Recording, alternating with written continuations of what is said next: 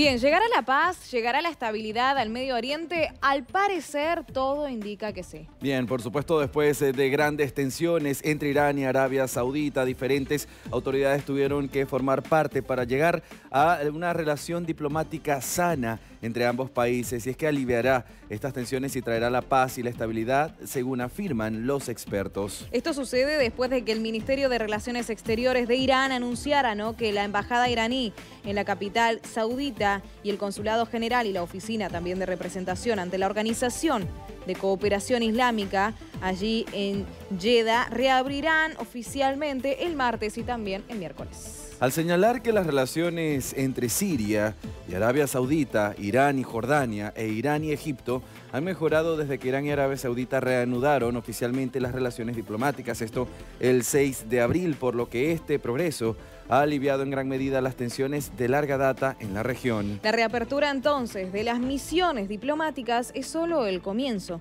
ya que se cree que habrá cambios más positivos en la situación regional.